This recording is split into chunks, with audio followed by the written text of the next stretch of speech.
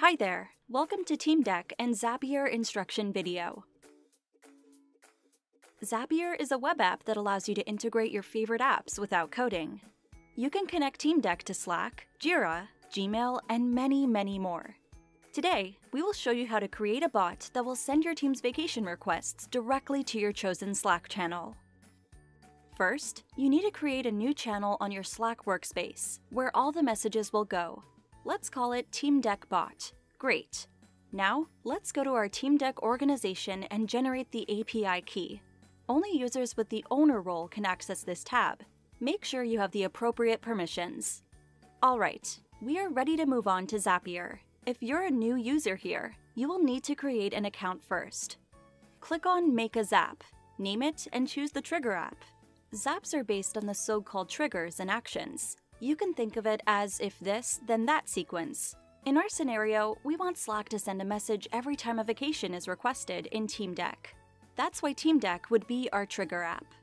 Can't see TeamDeck on the list? Ask our team for invitation. Pick Vacation Created Event and connect your account. Your API key will come in handy here. Now it's time to add the action step. Choose Slack from the list of apps, send channel message, and connect your account. Pick the new channel or use one of your existing ones, and write the content of your message.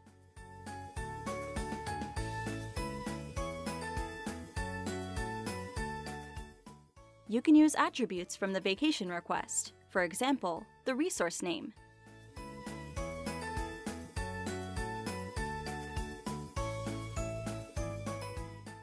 Name the bot and test the zap.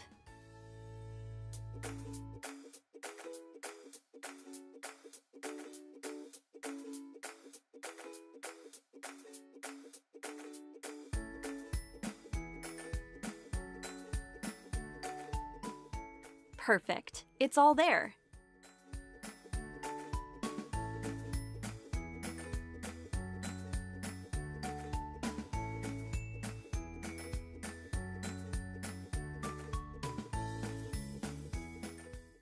Let us know if you have any questions regarding this and other TeamDeck integrations.